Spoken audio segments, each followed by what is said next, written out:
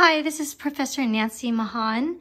In this video, we're going to be talking about complex rationals.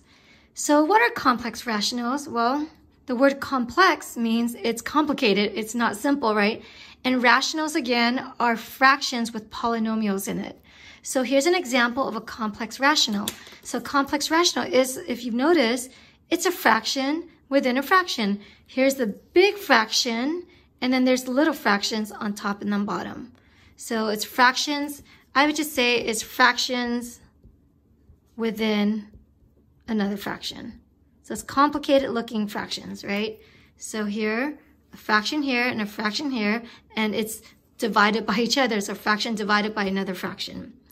So there are several ways of doing this problem.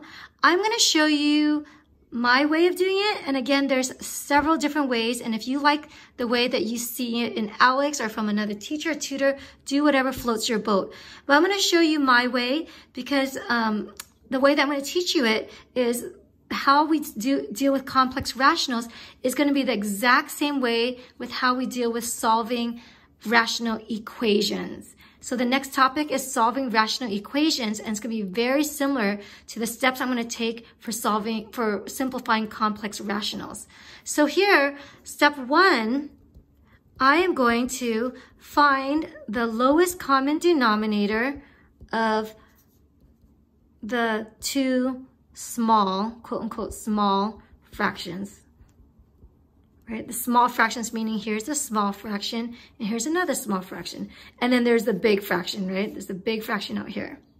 So find the lowest common denominator of the two small fractions. So here I have 2 and here I have 12w. So in this problem, the LCD, 2 and 12w, the lowest common denominator is the lowest common multiple. What multiple does 2 and 12 have in common? 12. So 12 and then multiple W. So the lowest common denominator is 12W. So what are we going to do with this LCD? So just like when we deal with equations, which we will be doing next, we are going to use the LCD and we're going to get rid of quote unquote small fractions. So we want to get rid of the small looking fractions by multiplying numerator or the top and the denominator or the bottom by the LCD. I hope that sounds familiar to you because when we were dealing with equations, in order to get rid of fractions in equation, we multiply the equation by the LCD. In this case, since there's not an equation, but there's just one big fraction here, we're going to multiply the top and the bottom by the LCD to get rid of the small fractions. So let's see how that looks like. So here I'm going to multiply everything by 12w. So 12w goes on top when you multiply, and I multiply by 12w here. So 12w is in the numerator, right? When you write, when you're multiplying it through. So here I'm to multiply by 12w, and look what's going to happen. So if you chose the right LCD, 12 divided by 2 gives me 6. So this here cancels out, and I end up getting a 6 on top, and that just becomes a 1, right? So when I multiply the top, I get w minus 3 times 6w. So w minus 3 times 6w. That's the top.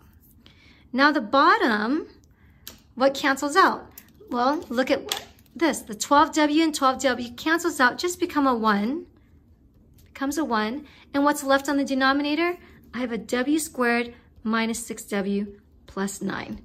No more little fractions. Now we're only left with a big fraction, and that's what we want, right? So that makes me happy because now it's no longer complex looking, it's simple. It's just a simple fraction now.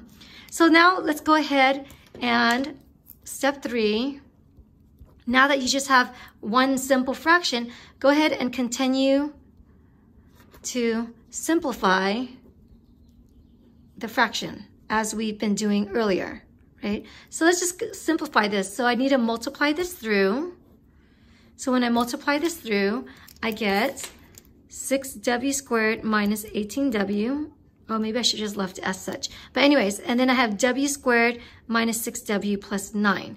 So I have this one, I multiplied through, I got that, and I'm like, oh, wait a minute, maybe I should factor this because to simplify a fraction, I should factor it. Okay, well, let's factor it. Well, 6w squared minus 18w, whoops, I, it's already factored up here, so I'm just doing double work. My bad. So I'm going to factor out the 6w. And then inside, I have w minus 3. So I just kind of did that, then did that, then did that. So I just went back to its home base, right? And then the denominator, I'm going to try to factor the denominator using xbox. So again, I'm going to do xbox on the side here two numbers that multiply to give me w squared or w and w. Two numbers that multiply to give me 9 are 3 and 3. Cross multiply, I get 3w, 3w. I want a negative 6w, so I have a negative and a negative there. Winner, winner, chicken dinner.